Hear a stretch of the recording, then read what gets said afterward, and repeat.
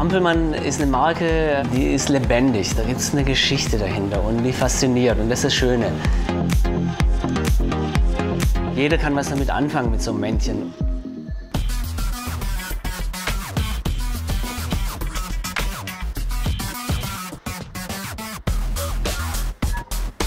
Entschuldigung? Ja. Ähm, kannst du mehr über Ampelmann erzählen? Da hinten sitzt der Markus, der kann dir ganz viel über Ampelmann erzählen. Schau mal, also die Männchen, die du jetzt hier in der Stadt gesehen hast oder hier im Laden siehst, das sind die ostdeutschen Ampelmännchen.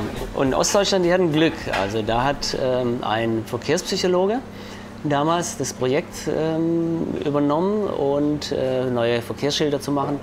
Und dabei sind auch die Ampelmännchen, die man jetzt hier überall sieht, entstanden.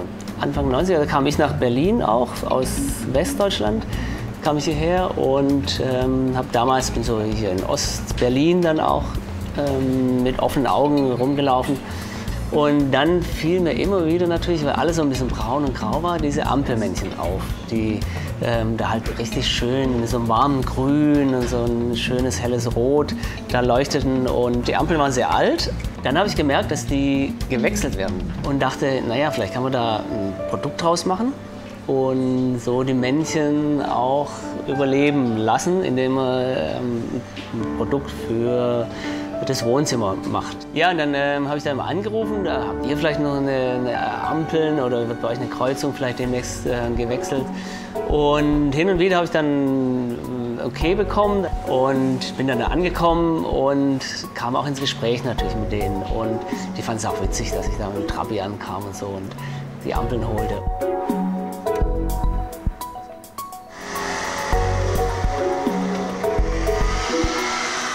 Habe andererseits das Projekt gleichzeitig entwickelt und habe gedacht, ich schreibe mir diese Geschichte auf ähm, und veröffentliche sie zusammen mit diesem Produkt. Also das war dann eine Lampe, die wurde dann so nach einem Jahr auch fertig. Hatte so eine Hinterhofwohnung, Treppe hoch in so einen, alten, so einen Altbau und habe gleichzeitig diese Geschichte entwickelt über die ähm, verlorene Identität der Ostdeutschen. Und die Geschichte kam richtig gut an und dann wurde es auf einmal so ein Thema. Da gab es dann so Unterstützung für die Rettung der Ampelmännchen. So die Idee, kann man nicht irgendwas auch erhalten vom Osten? Genau zu der Zeit habe ich dann sogar den Urheber der Ampelmännchen kennengelernt. Er war Verkehrspsychologe und für ihn war es natürlich eine ganz seriöse Angelegenheit. Aufgrund seiner Tätigkeit hatte er das Bedürfnis, auch die Leute, die Menschen zu schützen, vor allem die Fußgänger. Und da wollte er immer wieder versuchen, denen irgendwie eine Brücke zu bauen, bis er dann auf die Idee kam, man könnte ja speziell für die Fußgänger eine eigene Ampel bauen. Denn das hat ihn immer gestört, dass nur die Autos berücksichtigt wurden und die Fußgänger dann so zwischenrein durchschlängeln mussten. Dieses Männlein sollte natürlich auch einen Kopf haben. Und den bekam er auch, aber was machen wir mit dem Kopf? Wie sehen wir aus? Eine Haarfrisur oder eine Mütze oder irgendwas. Und dann habe ich gesagt, Mensch, das doch einfach einen Hut auf. Das mit dem Hut klappte aber nicht. Der tut er erstmal ins Schubfach und hatte Angst, das auszubringen, weil er sagte, Hut ist bei uns verpönt.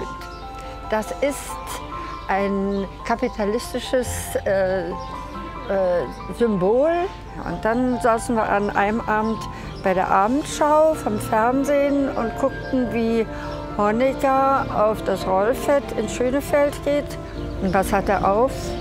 Einen Strohhut. Und als ihn sehen und mein Mann sagen, du hallo, guck mal, jetzt kannst du den Hut auch aufsetzen.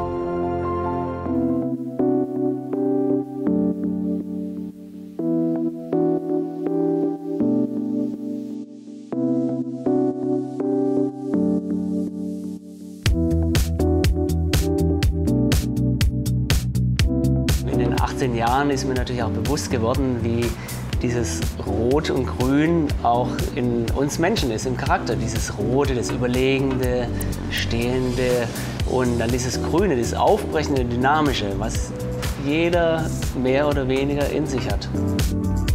Jeder kann sich mit den Männchen identifizieren, so mit diesem Grün und Rot.